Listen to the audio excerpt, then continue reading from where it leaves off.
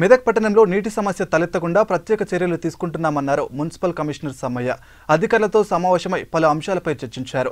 వర్షాభావ పరిస్థితుల వల్ల నీటి సరఫరాకు కొంత అంతరాయం కలిగిందని ఈ నేపథ్యంలో పట్టణ శివార్లోని నాలుగు బోర్లను లీజుకు తీసుకొని నీటి సరఫరా చేస్తామని చెప్పారు. ఒక్కో బోరుకు ఇరవై ఐదు వేల రూపాయలు చెల్లిస్తామన్న ఆయన ప్రజలు నీటిని వృధా చేయొద్దని సూచించారు. మనకు వర్షాలు పూర్తి స్థాయిలో పడడం లేదు.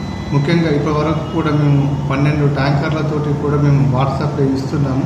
అంతేకాకుండా మనకు మిషన్ భగీరథ సంబంధించినటువంటి వచ్చే బల్క్ వాటర్ కూడా మనకు జూన్ పదకొండవ తారీఖు రోజు నాడు కూడా స్టాప్ చేయడం జరిగింది.